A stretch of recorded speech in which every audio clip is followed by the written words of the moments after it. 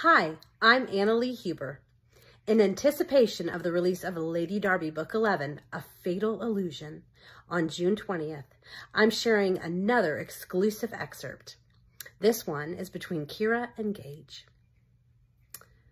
I touched his face, bringing him back from the grim place his thoughts had gone.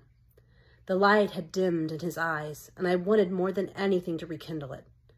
Arching my chin, I leaned closer, then I'm glad I took pity on you and married you to save you from such a draconian fate. A glint of challenge sparked in his pale blue irises, just as I'd hoped. Took pity on me, did you? I shrugged one shoulder coyly, pressing my thumb to the cleft in his chin. You seem so lost without me, like a little lamb. His arm tightened around me. A little lamb was I, he countered with a decidedly wolfish grin. My answering laughter was smothered as his head dipped and his mouth captured mine. By the time our lips parted, my bonnet had been knocked askew, our breathing was rather rapid, and he had thoroughly set, made his point.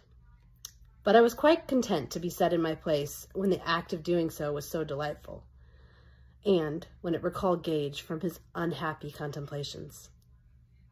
You can check out A Fatal Illusion on June 20th.